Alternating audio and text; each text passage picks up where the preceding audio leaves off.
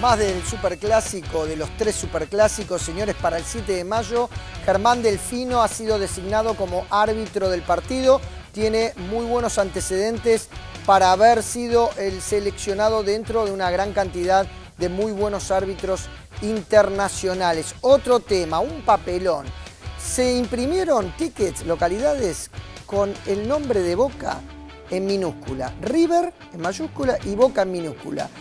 Para aquellos que hicieron este chiste, bueno, realmente es un problema ahora para los hinchas que tienen estas localidades porque deberán obligatoriamente volver al Monumental para canjearlo porque no tienen validez. Así que si usted tiene en minúscula la palabra Boca, deberá volver, si no, no va a poder ingresar justamente en uno de los superclásicos de la Copa Libertadores de América. Y hay por el torneo de 30 fútbol, habrá River Boca, por supuesto también por la televisión pública, la transmisión comenzará a 17.15, el encuentro 18.15, esto es lo que decía.